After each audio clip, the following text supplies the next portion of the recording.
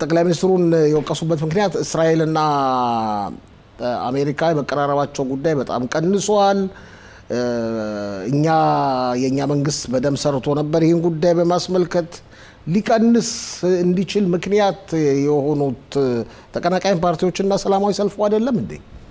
አንደኛው ምክንያቱ በትክክል አንደኛው ምክንያት ይሄ የህግ ማሻሻያውን በተመለከተ በጠቅላይ ሚኒስትር ብንያም ኔታንያሁ እና በመንግስታቸው እንዲሁም ደግሞ በጆ ባይደን እና በአስተዳደራቸው መካከል ያው ቅሬታ አለ። በዚህ መሰረት ለቅሬታው መንስኤው አንደኛው ይሄ ሰላማዊ ሰልፉ፣ ጸጥታ ማደፍረሱ፣ እስራኤል ዲሞክራሲ አይደለችም እየተባለ ደግሞ ደጋግሞ ደግሞ ደጋግሞ ደግሞ ደጋግሞ መናገሩ አይደለ እንዴ?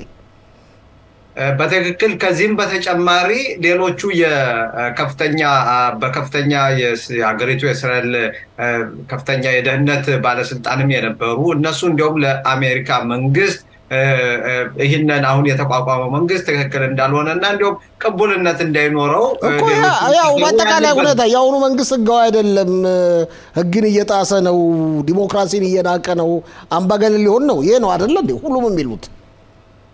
በትክክል እንግዲህ የአይር ላፒድ የሚያደርጉት ምንድነው? ፖለቲከኛ እንደመሆናቸው ፍላጎታቸውም ይህን መንግስት መጣል ስለሆነ ከሳቸው የሚጠበቀው ይህን ነው ይህን ነው ማድረግ ያለባቸው ሁልጊዜም ማለት ነው። ስለዚህ መንግስቱን የመቃወም መንግስቱን እንዲወድቅ ለማድረግ ግን ሌላ የውጭ ጫና እንዲመጣ ማድረግ ግን ይህ ያልተለመደ ነው እስካሁን ድረስ ማለት ነው። አሁን እዚህ በእስራኤል ሀገር ያሉ ተቀናቃኝ ፓርቲዎች በውጭ ወደ እስራኤል በዚህ ላይ ጋቢ ላቋርጥህና ይቅርታና በእስራኤል ታሪካዊ ልምድ አለ። የአገር ውስጥን ጣጣ የአገር ውስጥን ጉዳይ መወጣት ያለብን በአገር ውስጥ ነው እንጂ ለውጭ ሀገር አሾት አፈትልከን በማውጣትና በማሳበቅ አይደለም ይባላል አይደል እንዴ?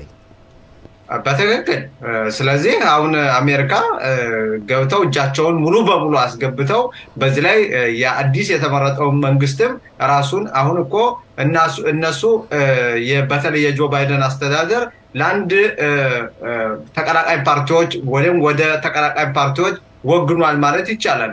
ምክንያቱም ይህኛውን የእስራኤል መንግስት ነው የተመረጠው ለእስራኤል ነው። በአጠቃላይ ግን አሜሪካ መመልከት ያለባት በእስራኤል የእስራኤል ሕዝብ የመረጠውን መንግስት ከዚያ ጋር የመስራት ፍላጎት የማሳየትና የውስጥ ጉዳያቸውን ደግሞ በውስጥ እንዲያሻሽሉ ወይም ደግሞ እንዲሰሩ ምክራቸውን በውስጣዊ መንገድ ያን መለገስ ይችላሉ። ግን ይህን በተመለከተ ጠቅላይ ሚኒስትሩንን ለምሳሌ አሁን ወደ አሜሪካ በመጋበዝ ከዚህ በፊት ሲደረግ የነበረውን ግንኙነት አለማድረጋቸው እስካሁን ድረስ ይሄ ልክ ማዕቀብ ጥለዋል ማለት ነው።